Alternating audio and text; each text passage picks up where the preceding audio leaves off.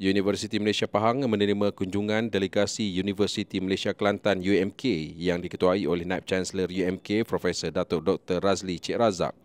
Delegasi disambut Naib Chancellor UMP Profesor Datuk Teknologis Dr. Yusri Zainuddin dan pengurusan tertinggi universiti. Kunjungan ini memberi peluang kedua-dua pihak berkongsi pengalaman dalam melaksanakan strategi universiti berkaitan penjenamaan, endowment dan pengurusan wakaf universiti.